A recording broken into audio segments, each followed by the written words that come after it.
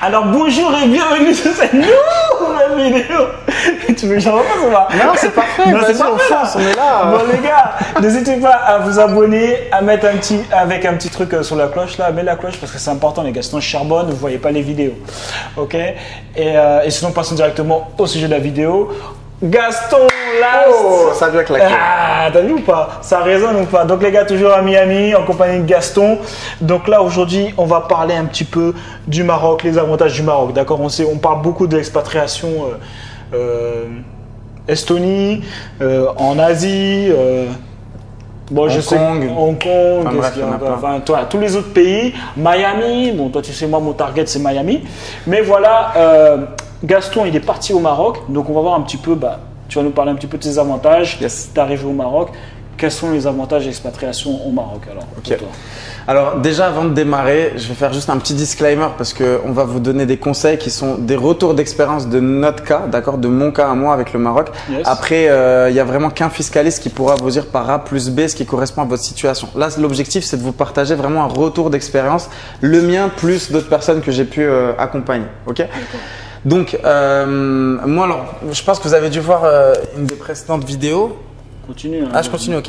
Ouais. Donc, je crois que vous avez dû voir une des précédentes vidéos où je, je me présentais, je vous ai expliqué que bah, j'avais un site sur l'expatriation au Maroc qui est, qui est donc toujours euh, la référence numéro une en termes de conseils sur le Maroc, sur les investissements immobiliers au Maroc. C'est la plus grosse communauté, en tout cas au moment où on fait cette vidéo, sur le Maroc. Et donc, moi, je suis né, j'ai grandi au Maroc, d'accord J'ai la double nationalité. Et là, je suis revenu m'installer au Maroc euh, bah, il y a quelques temps, d'accord? Donc, du coup, les avantages euh, au Maroc, on va dire pour des personnes qui ont un business en ligne, c'est principalement ça qui nous intéresse. Ouais. Ouais. Ok. Ouais, c'est mon cas en fait, ouais, c'est Ouais. surtout mon cas. Parce qu'après, je vais pas vous parler des retraités, ils ont des, ils ont des avantages fiscaux, mais peut-être si vous êtes retraité, bah, vous irez sur la chaîne YouTube Vivre au Maroc, il y a tout ce qu'il faut. Mais plutôt pour ceux qui voilà, c'est ça, pour ceux qui ont entrepreneurs. entrepreneurs, business. Donc du coup, au Maroc, il faut savoir qu'il y, a un- qu'il y a un avantage, on va dire, qui est extrêmement intéressant si jamais vous faites des business en ligne. C'est que si jamais vous avez une société au Maroc, d'accord, que vous créez donc une société au Maroc, déjà premièrement, vous n'êtes pas obligé d'être résident au Maroc pour créer une société au Maroc. Premier point. Quand vous ouvrez cette société au Maroc, si jamais vous faites de l'exportation de services, d'accord, ça veut dire que bah, vous êtes consultant, vous êtes coach, vous vendez de l'information en ligne, vous êtes infopreneur. euh, tant que c'est pas du produit physique, bah, c'est ce qu'on appelle donc de l'exportation de services. Vous conseillez en fait les gens. Et donc du coup, ça, il faut savoir que le Maroc, euh, pour remercier les structures qui sont au Maroc, qui vont ramener des devises étrangères, d'accord? Donc là, par exemple, moi, j'ai une société au Maroc, je fais de l'exportation de services parce que je conseille bah, certaines, certains entrepreneurs, certaines coachs à développer leur business. Et après, eux me payent. Comme moi, je suis au Maroc, eux, ils sont en Europe, ils me payent en euros et ça arrive au Maroc. Ok Jusque-là, c'est assez, c'est Ouais, assez ouais. simple. Ouais. Et donc, comme je ramène des devises étrangères au Maroc et que le Maroc en a besoin pour sa balance commerciale et pour plein d'autres raisons, le Maroc a décidé, pour encourager ce genre d'initiative, d'offrir des avantages fiscaux aux personnes qui font de l'exportation de services. Et donc, parmi ces avantages fiscaux-là, il y a l'exonération de TVA, il y a l'exonération d'impôts sur les sociétés et il y a des avantages aussi, je crois, alors je ne vais pas rentrer dans le détail, mais je crois qu'il n'y a quasiment pas de charges à payer durant les deux premières années euh, si jamais vous recrutez en fait des salariés. Donc c'est extrêmement euh, avantageux et en gros vous allez payer que 15% sur les dividendes que vous décidez de vous reverser. Ça veut dire que si jamais bah, à la fin vous avez un, bénéfice mais que vous voulez pas vous le reverser, bah, vous payez rien. Mais si jamais vous voulez vous reverser ça en termes de dividendes, là vous serez, euh, vous serez taxé à hauteur de 15%. Donc techniquement vous payez 15% sur l'argent que vous vous reversez. C'est clair? N'hésite Ouais, pas à me couper ouais, non, c'est clair. euh, Donc du coup, si je comprends bien, si jamais tu vis un petit peu sous le compte de ta société, Yes. limite tu peux euh, ne rien payer quoi. Mm, Exactement, ouais. Ouais, il faut juste qu'à chaque fois, si jamais, comme tu dis, tu vis sur le compte de ta société, que les dépenses que tu fais sont en adéquation avec l'objet de ta société, avec l'activité de ta société, Ouais, et euh, qu'après tu jongles un petit peu comme ça. Tu vois. Et donc c'est pour ça, encore une fois, je le disais dans l'autre vidéo, entourez-vous de, des meilleurs, entourez-vous d'experts, euh, surtout au Maroc, euh, ou même n'importe où ailleurs. D'ailleurs, si jamais vous voulez réussir sur le long terme, il faut savoir trouver les meilleurs et vous entourer des meilleurs. Parce que c'est pas parce que vous les trouvez qu'ils ont forcément envie de bosser avec vous. Mais ça, c'est un autre sujet. Ok, donc déjà du coup, ça c'est super intéressant parce qu'on n'en parle pas trop. Donc déjà, parce que la monnaie elle est quand même euh, moins élevée, euh, Ouais. fallait moins, Ouais, on va en parler de ça aussi. ouais, moins élevée par rapport à l'euro, donc tu as Ouais. l'avantage de ça. Et en plus, tu payes que au maximum 15%. déjà. C'est ça, ouais. Alors, il y a trois choses. Déjà, premièrement, il faut savoir que ces avantages-là ne sont valables que durant les cinq premières années de l'entreprise. D'accord. D'accord Ça veut dire qu'au bout de cinq ans, après, vous repassez en fait sur un autre schéma. Bon, il y a des solutions alternatives. euh, on pourra en parler, tout ça et tout, pour voir comment ça peut s'organiser. Mais normalement, c'est que valable pendant cinq ans. Ensuite, la deuxième info, il l'a dit, mais juste pour compléter ce que tu as dit, en fait, c'est pas que le dirham est une monnaie faible, c'est juste que le coût de la vie au Maroc, effectivement, il est plus bas. Et encore, ça va dépendre des villes, des endroits où on va, que peut-être que ce que vous allez trouver euh, en Europe. Il y a certains quartiers quand même euh, au Maroc, à Casablanca et d'autres, euh, qui sont beaucoup plus chers que des- certains quartiers européens. Donc ça dépend vraiment où vous allez, mais sincèrement, on peut arriver à avoir une meilleure qualité de vie. euh, euh, je pense en tout cas, c'est que mon avis, parce que là, ça va ouvrir un autre débat dans tes commentaires et tout, même si Joe sera content d'avoir plein de commentaires. Mais, euh, mais ça aussi, c'est, ça c'est aussi c'est important. Et après, la troisième chose que vous devez savoir, et c'est que l'argent que vous allez envoyer au Maroc, D'accord? Vous pouvez pas le faire ressortir n'importe comment parce que justement, si on vous accorde des avantages, c'est parce qu'on a envie que vous rameniez des devises. Mais une fois que vous avez ramené des devises, vous pouvez les utiliser pour payer des prestataires au Maroc, euh, payer des factures au Maroc, vous reversez vos Ouais. dividendes.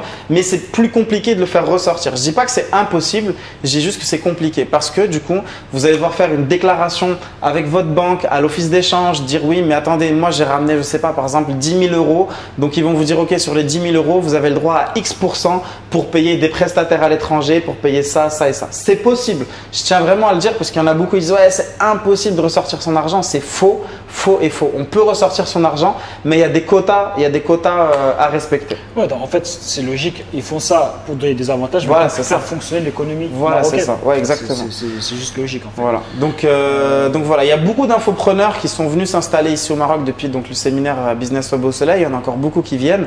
Euh, après, moi, ce que je peux vous dire sincèrement, c'est n'ayez pas peur entre guillemets du Maroc. Il y en a beaucoup quand on leur dit ouais, tu habites. Moi, le, moi le premier, on me dit tu habites où Je réponds bah tu sais, techniquement, j'ai un appartement au Maroc, mais si tu regardes mon agenda, je suis constamment en voyage. Et si aujourd'hui vous avez un business en ligne, vous êtes libre géographiquement. Et même si jamais votre camp de base est au Maroc, on est constamment en vadrouille. Tu vois, toi, Ouais. tu es à Miami, tu vagabondes. Euh, Moi, pareil, j'ai j'ai énormément vagabondé cette année. Donc, essayez bah, tout simplement de, de- comment on va dire, de, de remettre les choses dans leur contexte. Ça, c'est aussi quelque chose de, de très important. euh, je pense euh, pour les personnes qui envisagent le Maroc. Et l'avantage du Maroc, c'est que quand même c'est une économie qui est, en tout cas au moment où on fait cette vidéo-là, c'est une économie en fait qui est qui est pas aussi branchée, on va dire, à l'économie mondiale que ce que peut l'être par exemple le système européen. Quand il y a eu la dernière grosse crise financière, je crois que c'était quand? C'était en 2008. euh, dans sais ces eaux-là. Ouais. Donc voilà, elle a énormément touché les pays d'Europe, tout ça et tout, mais le Maroc non, parce que justement sa devise en fait, elle est vraiment très très très protégée. Donc euh, il y a plein d'avantages, euh, il y a plein d'avantages, on va dire comme ça, euh, par rapport au Maroc, plus la qualité de vie, plus Gaston qui est là-bas, plus Plus le séminaire web au soleil. plus business web au soleil. non, sincèrement, moi j'adore, j'adore le Maroc, donc je pourrais vous en dire que du bien, même si tout le monde n'est pas convaincu de ça. Mais encore une fois, ça dépend de votre projet de vie, de ce que vous voulez, de ce que vous recherchez et de vos ambitions. Bon, Il y, a quand même- il y a quand même pas mal d'avantages dans, dans ce que tu me dis et que ça peut être, euh, pourquoi pas, euh, bah, une des destinations. Ouais, tu sais, il y en a beaucoup qui choisissent Malte, il y en a beaucoup qui choisissent le Portugal, il y en a beaucoup qui choisissent l'Estonie ou Andorre. Mais moi, je leur ai dit, je leur ai dit, les gars, pour le moment, profitez-en parce que quand il y aura une harmonisation fiscale, et je pense qu'un jour ça finira par arriver, ils vont être obligés de tout aligner. Donc, euh, à un moment, toutes les poches, euh, on va dire qu'il peut y avoir à droite, à gauche, bah, ils vont les raboter, il va plus rien rester. Et je dis pas que c'est ce qui va se passer aussi au Maroc, mais en tout cas, à un moment, il y aura, je pense, une harmonisation fiscale, tu vois. Ok. Euh, dans la deuxième chose qui est importante, qui euh, beaucoup de gens s'intéressent à l'immobilier. Yes. Au niveau de l'immobilier au Maroc, euh, parle-moi un peu de ça. Est-ce que c'est c'est intéressant que- Euh, l'immobilier au Maroc, ouais. Alors écoute, moi j'ai investi dans l'immobilier euh, au Maroc. Là, j'en suis à mon deuxième appartement. Euh, L'objectif, c'est encore d'en acheter deux d'ici fin d'année. Donc c'est, l'immobilier au Maroc, c'est quelque chose qui est en train de se structurer de plus en plus, d'accord? Donc c'est pour ça que si jamais vous voulez investir dans l'immobilier, c'est extrêmement important de bien vous former, de bien vous renseigner sur le sujet. Surtout au Maroc, si vous voulez éviter de faire des erreurs que après vous allez vous traîner sur plusieurs années, d'accord. Donc ça, c'est extrêmement important. Euh, tu sais, moi j'ai toujours fonctionné dans ma vie par problématique. Ça veut dire que je voulais revenir m'installer au Maroc. Lan- J'en ai fait un business qui s'appelait La vie au Maroc, tu vois. Je voulais avoir des entrepreneurs avec moi au Maroc. J'en ai fait un business et j'ai créé Business Web au Soleil. Euh, donc à chaque fois, j'ai fonctionné un petit peu comme ça. Et pareil, quand j'ai voulu investir dans l'immobilier, ce que j'ai fait, c'est que j'ai organisé un séminaire où j'ai invité les, les plus grosses pointures, on va dire, euh, sur la thématique. Alors peut-être qu'il y en a d'autres, mais c'est ceux avec lesquels moi je collabore. Donc il y a eu un fiscaliste, il y a eu un notaire, il y a eu mon experte comptable, euh, il y a eu un promoteur, il y a eu un architecte, ils sont venus et chacun leur tour pendant une heure, ils ont expliqué vraiment tout ce que vous deviez savoir sur les investissements immobiliers au Maroc, tous les pièges qu'il y a à éviter, mais vraiment la totale, totale, totale. Et euh, j'ai bientôt plus de batterie, les gars. T'as bientôt plus de batterie. Donc, va falloir, va falloir, va falloir faire le résumé. Désolé les gars, mais c'est la vie. Hein. Bah, le, résumé est simple, c'est qu'on vous mette le lien dans la description, tu vois. Ouais. Mais, euh, mais de toute façon, il y a une formation qui existe. Donc, c'est une formation en ligne sur les investissements immobiliers au Maroc. Au-delà de la formation, il y a euh, ce qu'on appelle donc la communauté. Vous allez pouvoir retrouver d'autres personnes passionnées du Maroc qui veulent investir dans l'immobilier au Maroc. Et vous cliquez, vous prenez la formation. Je crois qu'en plus, lancement, il y a un tarif promo, donc profitez-en. Vous nous rejoignez, vous allez recevoir, je crois, 6 heures ou 7 heures de vidéo, plus la communauté. Et euh, vous ferez les choses intelligemment et de façon rentable. C'est très important. Donc, les gars, voilà, si ça coupe, euh, c'est pas grave. Et donc, du coup, bah, c'est quand même, il y a quand même des avantages euh, de faire du cash flow et tout comme ça. Ouais, il y, a, bah, y, a, y, a, tous les avantages qu'on connaît à l'immobilier quand tu le fais bien, tu vois. Après, c'est justement, il faut bien le faire, surtout au Maroc, parce qu'il y a des règles qui sont propres bah, à la culture du pays, par rapport bah, un petit peu à la religion. Tu peux pas louer à n'importe qui, n'importe comment. Euh, mais en tout cas, oui, tu peux faire énormément d'argent. Et c'est justement ça qu'il faut retenir, c'est que comme il y a beaucoup de personnes qui sont effrayées par l'immobilier au Maroc, ça laisse encore plus d'opportunités aux autres. Bah Et en fait, il y en a beaucoup qui euh, écoutent leur oncle, leur tante, qui n'ont aucune expérience de l'immobilier ou qui écoutent une personne qui fait que passer son temps dans un café. Ouais, tu sais, celui-là, il a entendu ça, qu'il a fait ci, ça et ça. Et à la fin, bah, elle décide de ne pas passer à l'action. Et tant mieux, parce que ça, ça, donne pas de résultat et ça permet à d'autres personnes euh, qui sont formées d'investir de, façon rentable et pérenne dans l'immobilier. Mais là, tu as dit quelque chose qui est important. Gros cash à faire et porte d'entrée difficile. Donc les gars, vous avez tout en lien si jamais vous êtes intéressé pour investir euh, au Maroc dans l'immobilier. Je mettrai un petit lien évidemment affilié les gars juste en dessous. Donc euh, les gars, je vais couper cette vidéo, je vais l'arrêter parce que là, je vous dis même pas d'appel à l'action. Vous avez tous les liens en description parce que sinon ça va, ça va couper euh, dans incessamment sous peu les lois du direct, les gars. Ok? Donc, les gars, on lâche rien. Ok? Je vous apporte du contenu pour que vous puissiez passer à l'action. Donc, arrête de regarder mes vidéos et passe à l'action. Ok? Donc, les gars, on lâche rien et on reste déterminés.